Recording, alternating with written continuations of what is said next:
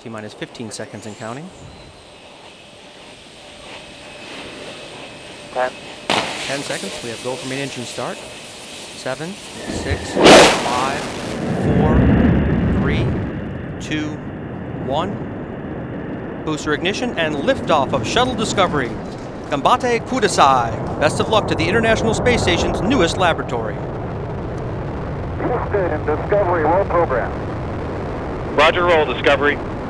Houston now controlling the flight of Discovery, a man-made rising sun on behalf of Japan. Discovery on the proper alignment, heads down, wings level for the eight and a half minute ride to orbit.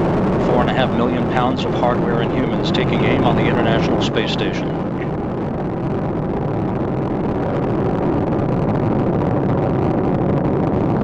36 seconds into the flight, the three liquid fuel main engines now throttling back to 72% of rated performance, going in the bucket, reducing the stress on the shuttle as it goes supersonic.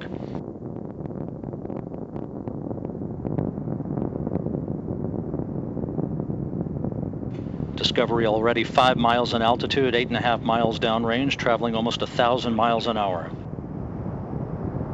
Discovery Houston, go at throttle up.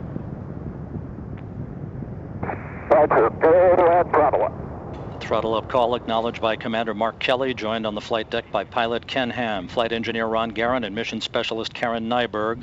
Down on the middeck are Mike Fossum, Aki Hoshide, and Greg Chamitoff, heading for a half year on the International Space Station.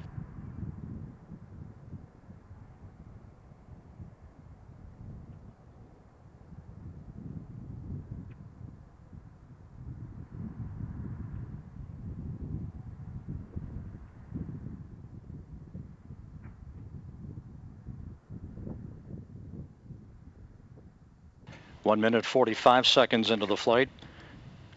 Discovery 22 miles in altitude, 23 miles downrange, standing by for solid rocket booster separation.